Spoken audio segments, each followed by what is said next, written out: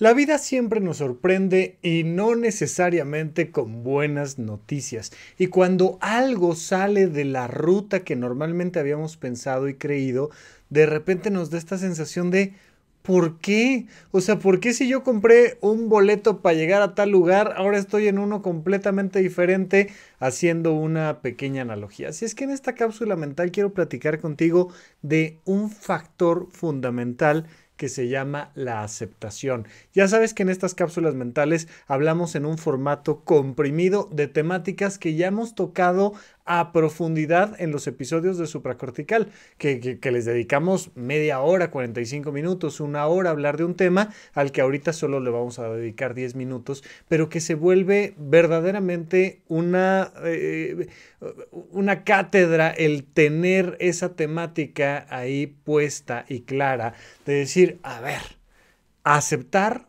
es más importante que entender. ¿Por qué te digo esto? Porque muchísimas, muchísimas ocasiones me he topado con gente, vaya, yo mismo he estado ahí N cantidad de veces, como cualquier ser humano que vive un montón de procesos de duelo, de pérdidas, de cambios, de rupturas de los sistemas de creencias, y que uno dice, ¿por qué? ¿Por qué si yo soy buena persona me pasa esto? ¿Por qué si yo lo planeé de esta manera no sucedió? ¿Por qué si hubiera sido maravilloso que hubiera sucedido esto no pasó? ¿Por qué? ¿Por qué? ¿Por qué? ¿Por qué? Y estamos dándole vueltas y vueltas y vueltas al tema de ¿por qué? Y cuando le dices a alguien, oye, es que ya te atoraste en este tema del por qué, es que lo quiero entender, lo tengo que entender.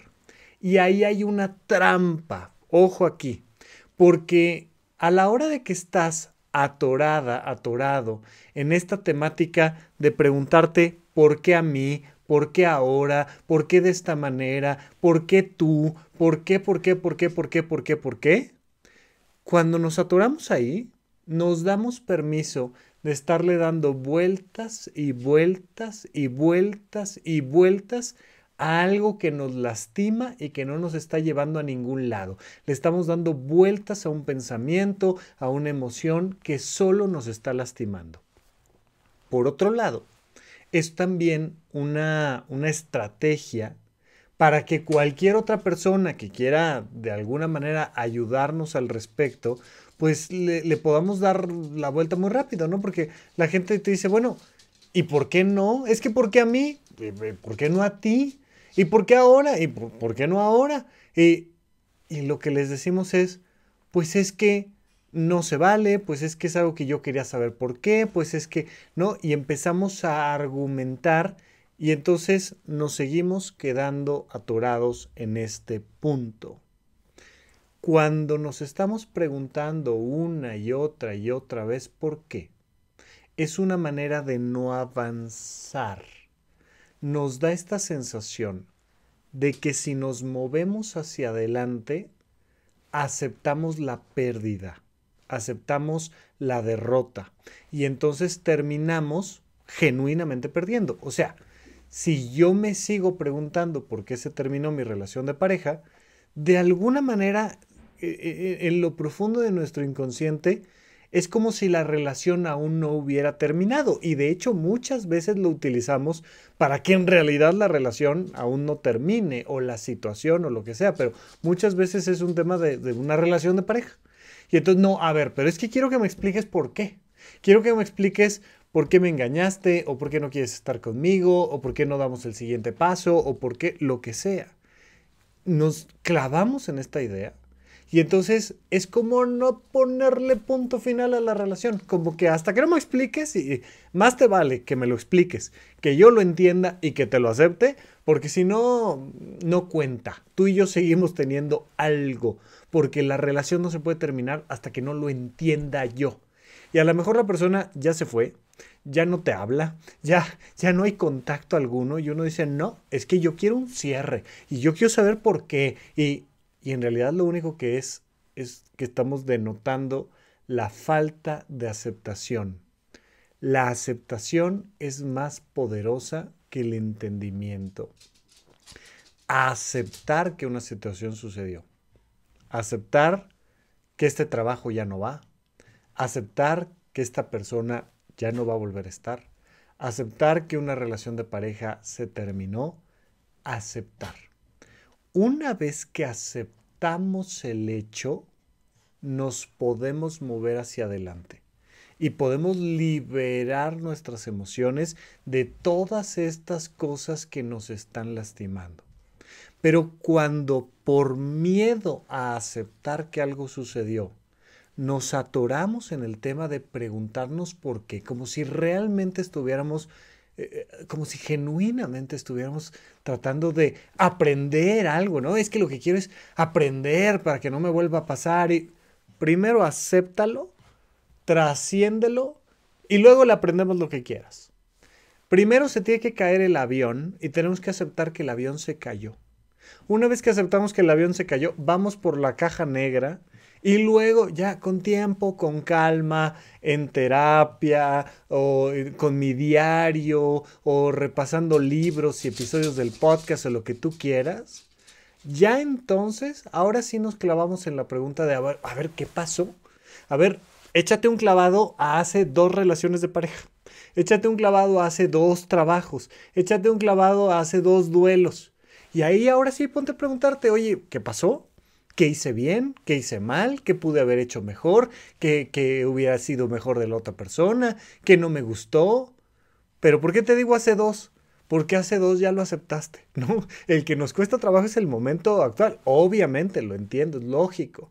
Pero si realmente lo que quieres es aprender, pues vaya, a eso va uno a terapia muchas veces, ¿no? A ver bueno, ¿qué pasó en mi infancia? ¿Qué pasó de mis 10 a mis 15? ¿Qué, pasó de mis 18 a mis 24? ¿Qué pasó a mis 36? Pero ya con la visión fresca de alguien que ya aceptó que algo pasó. Es la parte más importante. Incluso cuando no es una cosa tan grave como una ruptura de pareja, sino que solo pasó algo en la pareja. O sea, ya sabes, de estas cosas que a todas las parejas les pasa porque no hay ninguna pareja perfecta. Y entonces yo dije una cosa, tú entendiste otra, yo traté de corregir, se empeoró todo, tú me, me, aventaste entonces ahora sí todo el enojo, yo me sentí, te lo regresé, y ¡pah! terminamos la conversación en un portazo, te colgué el teléfono, no sé qué tal. Y, y de repente, a ver, paso número uno, ya sucedió vamos a aceptar que nos peleamos. Porque entramos en el de, pero ¿por qué nos peleamos? Pero es que no debió de haber sido, debió de haber sido diferente y tal. Y nos atoramos en el pasado en la idea de es que nunca debió de haber pasado. No, no, ya sé que nunca debió de haberse caído el avión. Me queda claro que el avión no debió de haberse caído. Pero partamos del principio de que ya se cayó.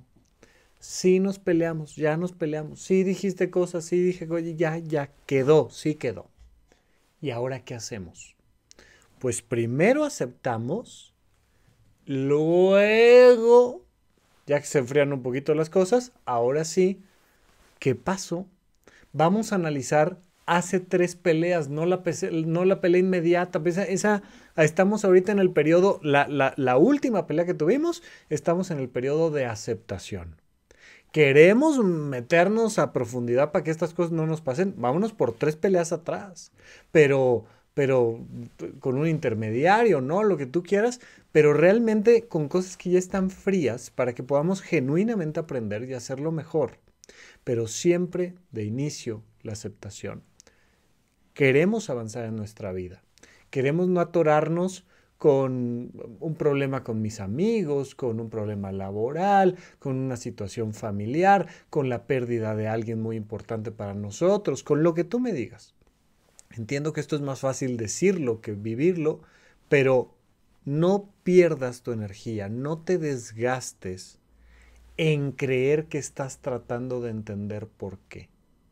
Acepta que simplemente no estás queriendo cerrar, no estás queriendo aceptar y cuando puedas, cuando la emoción empiece a bajar, porque esto es otra parte muy importante que ya hemos platicado, hay que dejar, hay que darnos permiso de sentir lo que estamos sintiendo, pero no contarnos el cuento de que estamos pensando, ay, ¿qué pasó y por qué? Y quiero entenderlo. No, no, no. Simplemente siéntelo, siente la emoción, dolió, estoy enojada, estoy triste, estoy angustiado. Sí, sí, siéntelo, siéntelo, siéntelo. Se va a empezar a enfriar. Ya que llegues al punto máximo y empiece a bajar la emoción, céntrate en aceptarlo. Cuando ya esté fría la emoción, ahí sí apréndele lo que quieras, entiende el por qué y el para qué, pero antes que cualquier otra cosa, siempre va primero la aceptación. Bien, seguimos platicando en estas cápsulas mentales de supracortical.